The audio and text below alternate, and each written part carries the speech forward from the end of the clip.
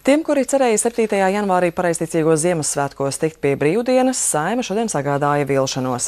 Ar niecīgu balsu pārsvaru deputāti noraidīja priekšlikumu ieviest jaunu svētku dienu.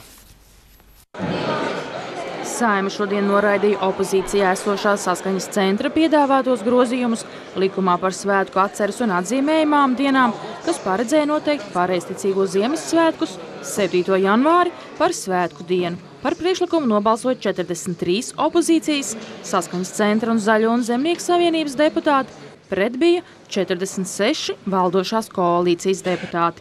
Aicinot balsot par priekšlikumu, Valērijas Agešins uzsvēra, ka pareizticīgo baznīca Latvijā tiek uzskatīta par tradicionālu konfesiju. Dievs katru cilvēku ir radījis laimēji, tāpēc vēlamies panākt, lai Latvijas valstī ikvienam cilvēkam – būtu nodrošinātas vienlīdzīgas tiesības, iespējas un brīvības. Tā ir skaita tiesības un iespējas pareizticīgajiem un vecticībniekiem svinēt savus Ziemassvētkus. Aicinot balsot pret, deputāts Andrejs Judins norādīja, ka grozījumi nav iesniegti rūpējoties par ticīgajiem cilvēkiem, bet gan ir politiska spēle.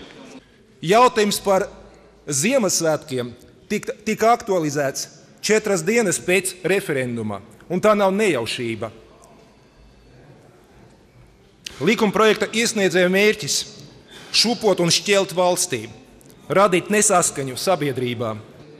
Sēmas opozīcija ierosinājumu noteikt pareizticīgos Ziemassvētkus par svētku dienu izsaka gandrīz katru gadu, un līdz šim valdošais vairākums šo priekšlikumu allaži ir noraidījis. Koalīcijā drīzumā gaidām diskusiju par Zatleru reformu partijas ierosinājumu – ļaut strādājošajam saņemt vienu apmaksātu brīvdienu gadā pēc paša ieskatiem. Madara Līcīt, Juris Rītiņš, Latvijas televīzija.